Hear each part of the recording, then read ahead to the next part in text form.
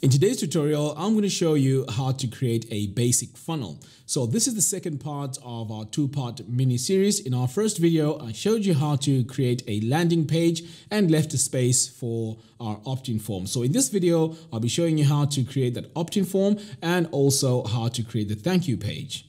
Today's episode is made possible by divicake.com. Check out their layouts, themes, and plugins. The link to that is in the description below. And before we get started, if you want to learn how to design websites using WordPress, I have a free WordPress course called WordPress Mastery. The link to that is in the description below. It's 100% free. You can go ahead and enroll on that course. And also, if you want to learn how to design websites using Divi, which is the software that we'll be using today, I also have a discount on the course, but if you buy Divi using my affiliate link, I will give you access to that course also absolutely free. All you have to do is to send me an email with your receipt to show me that you've purchased it using my affiliate link. All right, so without wasting a lot of time, let's dive in and let's get started. Okay, so the first thing we're going to do is to go to our dashboard and create our thank you page. So I'm going to come over here to dashboard click on pages and then add new. So we're going to call this page thank you, but you can name it whatever you want, obviously. Right. So now that we have named our page, the next stage now is to use the Divi Builder. But you know what? In the previous video, I also had to come back in here and uh, remove the header and the footer. So we might as well do the same thing. We don't want our header and the footer onto our thank you page. Right. So what we're going to do is we're going to come over here to our template and click on blank page. Right, so now that we have that all set, I'm just going to publish the page and then I'm going to go to our visual builder and start building our page. So I'm going to click here on use Divi Builder and then I'm going to go straight to the visual builder. We're going to click on build from scratch and then we're going to first add our column structure and we're just going to go with the basic column here, which is a single column. And in here, we just want to add our blurb. So I'm going to go ahead and select it. All right, so over here, we're going to say success. And then this is where you can add your personal message. So you can also add messages like, uh, please check your email for registration details or whatever it is that you want to add. So what I'm going to do here is I'm just going to leave this as it is. Right. So the next thing we're going to do now is to come over here to uh, image and icon. Right now we have an, a placeholder image. We don't need that. So I'm just going to delete that and then activate use icon. So this is now where we can scroll down here and choose the icon we need. So we just want something basic here, just something like a check mark to show that everything has gone on well. It can be also a thumbs up if you want to. So let's try a thumbs up here.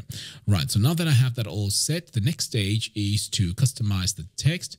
So I'm going to come over here to design. And then the first thing I'm going to do is we might as well work on the uh, icon. So I'm going to click image and icon. Right, so let's start by adding a circle here. And then let's add some colors. So I'm just going to use green for this. And then for the actual icon, um, let's try white. So I think that will work fine. Okay, and then the next thing you want to do, if that circle is uh, too big, you can always come over here to use icon font size and then reduce the size a little bit. Okay, so we're going to reduce it to about 50. And then next, we're going to come over here to the text and we're going to center everything. And then we're going to start customizing this text. So I'm going to start over here with the success. So over here, you can see when I mouse over this area, this gives me this brush tool. So I'm going to click on that and that takes me directly to heading four. Right. So now we can customize this. So let's start off by changing our font. So we're going to change this to Poppins. Select that. And then we're just going to make this nice and big. So I'm going to come over here to my text size, increase the size like that. So I think 44 or 42 is fine. Okay, so you can also change the color if you want, but we, we're just going to make uh, everything basic here. Just leave it as it is. And then over here, we're also going to uh, change our font. So by default, it's set to the font uh, set by default, but we want Poppins. And then we're also going to increase our size here to maybe about 18 and then increase the line height as well. Okay, so that's your success message. Right, so now that we have this message all set, the next thing we're going to do now is to go into our section settings, click on um, design, and then over here on spacing, we are going to add padding to this. So I'm going to start off with say 10% and see how that looks. And then I'm also going to add 10% to the bottom. Okay, so that just ensures that when our page loads, it has space both on the top and the bottom. Right, so with that said, I'm going to click on Save Changes. So now we have our page and it's looking good. We're going to save the page and then publish it. I'm going to exit the Visual Builder. Okay, so the next stage now is to go to ConvertKit. This is the autoresponder software that I use. I really like the simplicity of this software. It's fantastic and I've been using this for over two years. And as you can see, my list is actually growing day by day. And over here today there's been two subscribers. So it's really really good. I really like it. And they keep adding new features to this. And also if you want to uh, try it out i can also leave a link in the description below so you can go and check it out. Right. So what we're going to do now is we are going to create our brand new form. So i'm going to come over here to forms. Come over here and click on new form. So i'm just going to click here on form inline and we want it clean. So I'm going to choose this one here. Right. So let's give this a name. So we're going to call this simple funnel. Okay. So the next thing is we're going to come over here and save it. So as you can see, we have several ways here to embed our form, but the, uh, the way I prefer is to install the ConvertKit plugin and then add the shortcode. So let's go ahead and do that. So I'm going to come back over here to our website, click on uh, dashboard. So I'm just going to save and exit for now. And then I'm going to come over here to my plugins, click on add new. We're going to search for ConvertKit. Right, so this is the first result here. I'm going to click on install now and activate the plugin.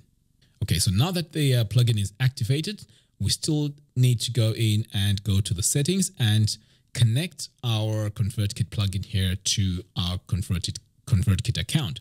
Now, the reason why we're doing this is when someone signs up onto the landing page, they need to be added to a mailing list. So this is why this stage is very important. So I'm going to come over here to settings.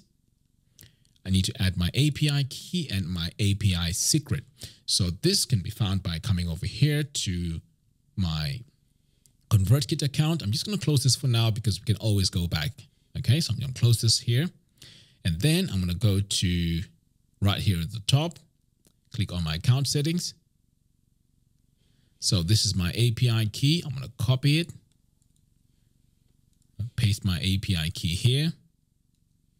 And now we need API secret. So again, I'm going to copy it, paste my secret, save changes. So now it's time to choose the form. So remember, we created a form called basic funnel or simple funnel, and it's all the way up down here on the bottom. So I'm going to select it and then I'm going to save changes. Okay, so now let's go back to our page and add our shortcode. So I'm going to come out over here to pages, click on all pages. And uh, I think our page is called WordPress promo. So I'm going to click on edit, click on visual builder. Okay, so now let's add our modules. So I'm going to click here on this plus button to add our brand new module. I'm going to click on that, search for my text module and click on text. Right, so now it's time to come over here to our account settings. And then we're going to go back over here to our forms. So we need to find that form. So the form should be right here on the bottom. So I'm going to click here on simple uh, funnel, embed, and then we're going to go for the WordPress option and then copy this code. Okay. So I'm going to come back over here to my page and then I'm just going to get rid of all this text and paste my shortcode. I'm going to save. And now you can see that our form is in place. Okay, so let's say you want to make some customizations to this. Now over here on the top right, if we click here on this gear icon, we get more options. So this is where you can show your success message. Now in our case, because we created a thank you page, we don't need this default success notification. So we want this to redirect. So this is now where our thank you page comes. So I want to copy here this link to my thank you page, come back over here to uh, ConvertKit and then paste my URL over here. So when someone signs up here by entering their name and email, they will be redirected to our thank you page. Okay, so that's how easy it is. Okay, so over here on uh, incentive email, all I do is to just auto confirm new subscribers. Okay, so I don't normally send uh, an incentive uh, email. I just leave that as it is. So now that I've unchecked that, this will just auto confirm. So that means every time someone signs up onto this uh, email, uh, onto this mailing list, they will be automatically added onto the list, which is great. Right, so over here, this is where you can get to style this. So at the moment, we just want it, you know, nice and clean. So we're not going to mess around with that. And then over here, we also have more advanced settings. So usually I just leave this as it is. So then just click on save. So that is now all set. So what we're going to do now is we are going to go back and test to see if this is working fine. Right, so I'm going to come over here on our main page I'm just going to save this. In fact, you know what? If you want to go and further customize this, you can always go in and, you know, add a background color to that. So let's quickly go in and do that. So let's say uh, we add our color here. I'm going to add this um, yellow. In fact, I'm just going to change the color a little bit here. So by adding a color, this just sort of like uh, gives focus onto where the user should add their name and email address. All right, so now that I have set my color, the next thing I'm going to do is to come over here to design, spacing, and then I'm going to set some um, padding. So on the left here, I'm just going to drag the slider here to about, let's say 140. And then we're also going to add some top padding like that. So now our form has, our opt-in form has enough breathing space. So you can, you know, you can just eyeball this and just drag here until you're happy with how it looks. So this seems okay. So I'm pretty much happy with that. I'm going to go ahead now and save. And then I'm also going to save the page and exit the visual builder. So the next stage now is to obviously promote this page on social media, paid traffic, whatever it is. If you create videos, maybe you can mention uh, this link in your video so that a lot of people come to this page. So when they come to this page, they listen to the video, and then if they're excited or they're interested in what you have to say, all they do is to add their name and email address. So this is time now to test our opt-in. So what I need to do, if all goes well, if I enter my name and my email address here, I should be redirected to a thank you page. And if I go over here to ConvertKit and check my list, I should also see a subscriber added to my mailing list. So let's go ahead and test this. So I'm going to add Mak. I'm also going to add my email address. Click on subscribe. Okay, so now this has redirected me to the thank you page. So everything is working fine, which is great. The next stage now is to go to our ConvertKit account and check my reports. Okay, so now we see that we have one subscriber and one visitor. So if I click here on the subscriber, this should be my name. You can see here and it also confirms that uh, this was submitted on November the 15th. So this is how you grow your email list using ConvertKit and how and also using our basic funnel. So all the tools that I used in this tutorial, I would link them in the uh, video description below. And also if you want to learn how to design websites using WordPress, I will also leave a link to my course, which is absolutely free. It's called WordPress Mastery. And if you buy Divi using my affiliate link, I will also give you access to Divi, which is the page builder that I've been using to create these two pages.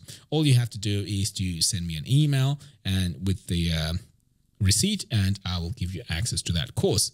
So thank you very much for watching and don't forget to hit the subscribe and bell notification if you want to see more of my tutorials. See you in the next video. Thank you for watching.